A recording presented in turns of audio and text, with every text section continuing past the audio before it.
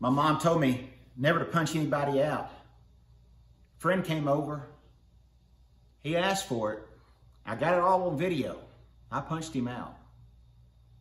But it all was good. He left happy. Let me show you the video, what happened.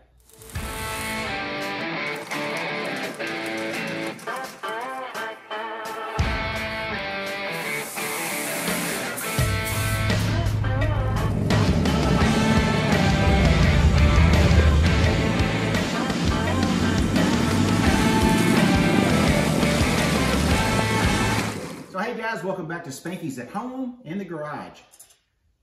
Today we're gonna help out a buddy that's got a vintage funny car. They race all over the country and they've got a toter home and the generator is getting hot. So we're gonna punch some louvers in a panel that goes over the door for the generator box. We're gonna take a look at the funny car before we get out of here and show you some stuff on that. So before you go anywhere, Make sure you hit the like and subscribe button. Give us a thumbs up. Help this channel grow. We sure appreciate it. We're nothing but hot rod content around here. Hot rods, funny cars, vintage automobiles. So let's get to the day's project.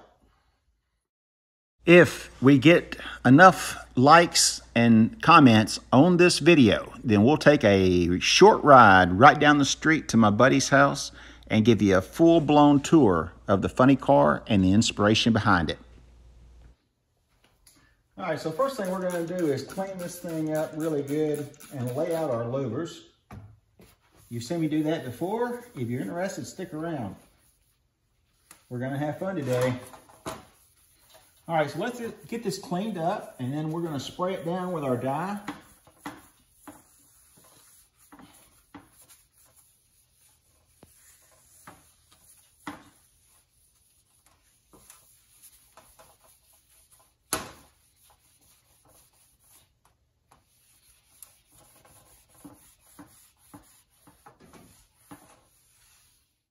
All right, so we got it clean. Now we're laying it, uh, the layout dye on it, and we're gonna start trying to figure out how many rows of louvers we can get on this panel and how far we can go within our boundaries of where we're trying to stay.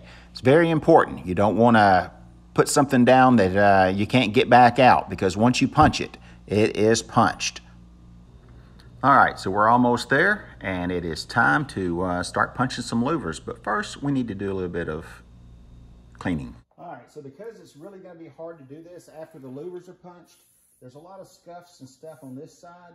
We're going to go ahead and knock off the front side and give it a brushed aluminum look.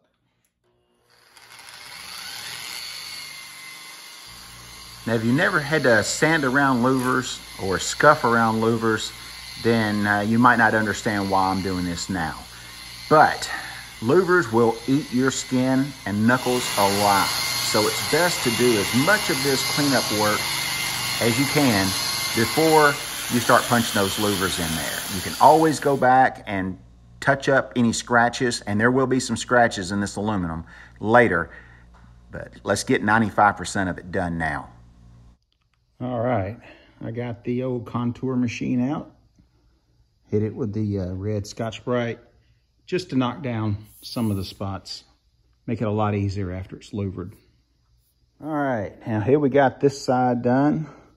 This is the grid that we lay out to punch the louvers. And I've got a little arrow marked where the first few louvers are.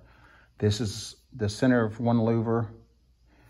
This is the center of a louver, and that'll be the center of a louver. So it'll be three rows going down. We'll skip a spot right here where the latch is. And then uh, let's see what this is gonna do.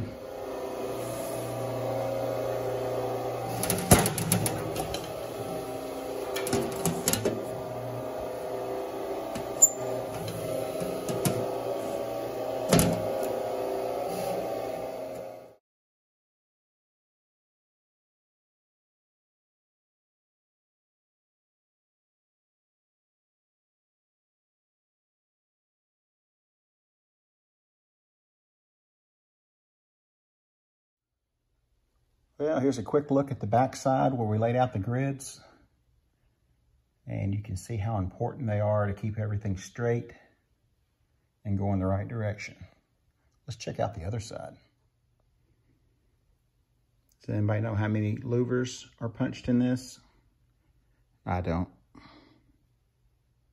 All right, there we go, guys. There's the pretty side.